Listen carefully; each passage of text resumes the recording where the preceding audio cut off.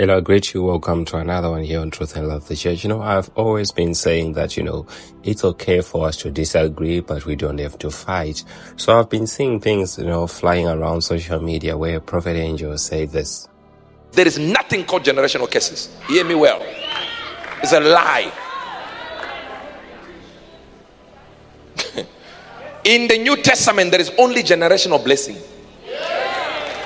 The Bible says there is no more curses. Why? Because cursed is everyone that hangeth upon a tree, and Jesus hung upon a tree to remove the curse. So, where are you getting the generational curse from? It's a comparison of gods. Your whole family was worshiping one God, and another worshiping Jehovah. But this one was dedicating your whole family, your womb, everything to that God. So when you give birth to your child, is already dead. In the womb, they've already been sacrificed. That's why I say to you, you need fire. So when I saw this, you know, uh, a lot of people were actually putting out posts saying that Apostle Suleman and Prophet Angel are fighting, they are opposing each other. I don't know, I think it's a video of Apostle Suleman that they saw where he was talking about generational curses and they coined it with uh, Prophet Angel's video saying that, you know, they are fighting. But we all know what they've been saying, you know, Apostle Suleman says this. They are fighting. That is your expectation and that thing you are wishing for will never happen. No zero, zero crisis, zero. Not even a, not even a misunderstanding. But people are doing content. Some say, "Oh, Apostle has something on him." What do I have? I don't have anything. No crisis between me and Uebert Angel. And Prophet Angel also agreed, you know, saying the same thing. Right. And someone said, do you see Joshua Selman was talking about you? We had already discussed. There is someone who is saying this, who is saying this. I said, no, no, no, you need to correct it. Maybe you tell your church you do this, and he tells me, no, no, no, there's this.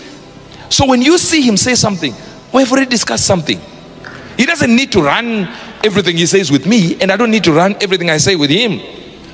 But the reality is, I would know when he's against me. And if you're waiting for Johnson Suleimani and Angel to be enemies, you die. You die very quick. You'll be an old man.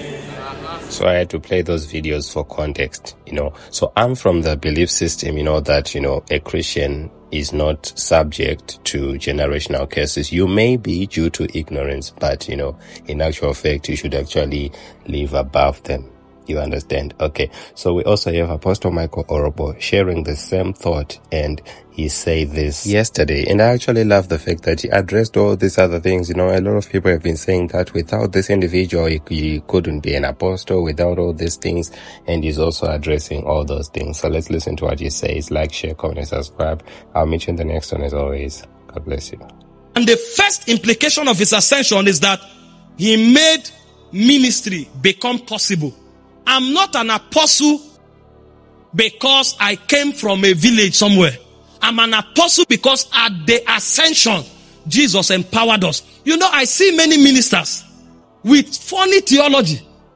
They tell them the reason you are not succeeding is because of your father's house. Hmm. A prophet told me once, so accurately, Oh, God wants to announce you this year, but they, your father's house, they are fighting you. He said, go and bring sand.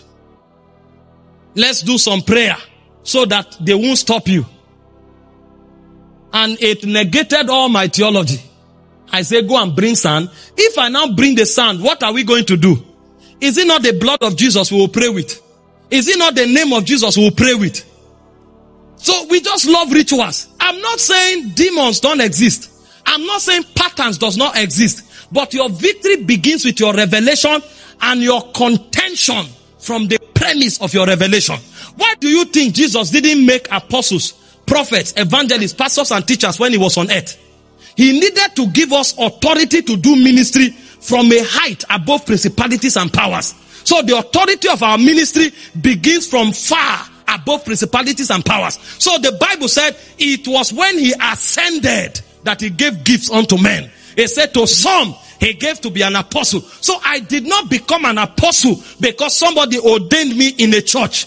The church just confirmed it because they recognized what God gave me. I became an apostle from far above principalities and powers. It was when Jesus resurrected that he made me an apostle. And that's why when I am speaking from my office, no principality can stop it because I'm not speaking from earth. I'm speaking from heaven. Your ministry came from the ascended reality. Your ministry came from the heights of the heavens. Your ministry came from far above principalities and powers. Demonic patterns exist, but they exist at a realm lower than your ministry.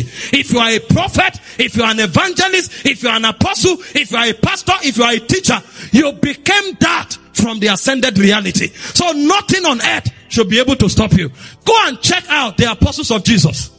The moment they were ordained apostles, from that day, all their warfare ended. Fishermen stood up and entered the city and began to take over. There was no record that they went back to make peace with their ancestors. There was no record that they went back. Listen, at the cross, you ended all your transaction with your ancestors. At the resurrection, you started a new economy with God. At the ascension, you step into the realms of power. And it is from that realm that you give expression to ministry. I'm not an apostle from Nigeria. I'm an apostle from the third heavens.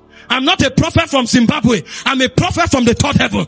I'm not a teacher from London. I'm a teacher from the third heaven. I can be doing ministry from Nigeria. I'm not from Nigeria. I'm an ambassador from heaven. The powers of heaven back me when I speak. Him that ascended was the same that descended.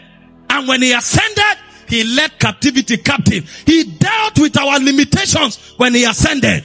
And from ascension, he said he gave gifts unto men. Don't allow human dogma reduce the potential of your ministry. Some told me you can never become a global voice because you are not the third, fourth, or fifth generation. They said, look at Daniel Kolenda. Look at all of those guys. They are fifth generation ministers. I know the place of priesthood. I know the place of heritage. It exists. But hear me. Whether you have it or not, it doesn't matter. You know who my ancestors are? God the Father, God the Son, God the Holy Ghost. You know where my life began from? From the resurrection. You know where my ministry began from? From the third heaven. Nothing of earth, nothing of hell can limit my calling. This is why people take one step forward, four steps backward, and they can't understand where they are going. Because today they believe in the finished works. Tomorrow they believe in the story one prophet told them. They believe in the story one apostle told them. And none of these things has their root in scripture. Ministry is the ascended life. Ministry is life beyond principalities and powers. That's why when we come, we proclaim seasons, we change circumstances, and we alter the agenda of Satan. There's nothing he can do about it because even if he wanted, he couldn't do anything.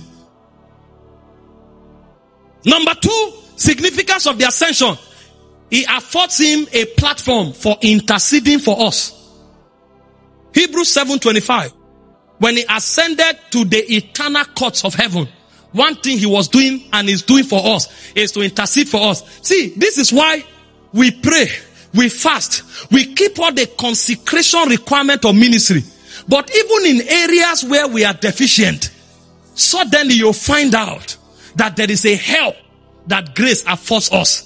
That even ourselves know that this is not a product of our labor. It's because in addition to our prayer, there's another voice of intercession from the heavens. Jesus is our eternal intercessor. So listen, sir. When you are doing everything you are doing for God, let it be in your consciousness that you have a backup.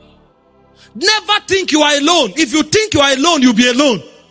When I'm done praying, when I'm done fasting, when I'm done worshiping, when I'm done giving and keeping all the consecration as I step out, I say, thank you, Jesus. I know you've got my back. That is my true confidence. Because when he ascended, he didn't go there to fold his hand and say, I'm coming again. He's interceding for us. So he's not just mediator, he is also our intercessor.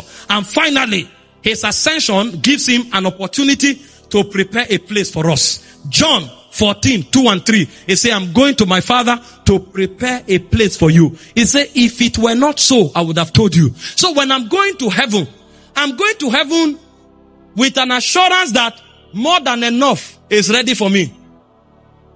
Somebody told me a vision recently. He was caught up in a trance and they took him to heaven and they took him to a place and they were showing him real estate. And he came to a very large fleet of buildings. And the angel walking with him told him, he saw on the real estate they wrote Mercy City.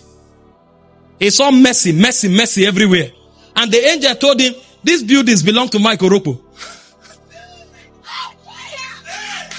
when he told me, I said, I don't know if there are physical buildings there, but whatever they represent, I receive it. whatever they mean. Meanwhile, I'm going to start a real estate business too, Oga. Because as he is in heaven, so shall he be. In heaven, there may be no physical buildings. That's not my business. But I will model it here. While whatever that represents in the spirit, I receive it. I receive it. And I believed him. Because one of my covenant with God is the covenant of mercy. Somebody was praying and he had a burden. He said, what is it that you did to Mike Orokpo? That he is enjoying the kind of things he's enjoying. I must have it. And God told him, do you know the covenants backing him up? And the person came and met me. I said, which covenants do you have with God? I said, start with mercy. Some people think they are too qualified.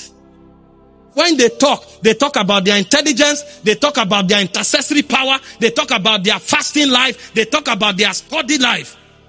The Pharisees did more than you. All of us are supposed to do this. But for those who will last, we begin our journeys from mercy.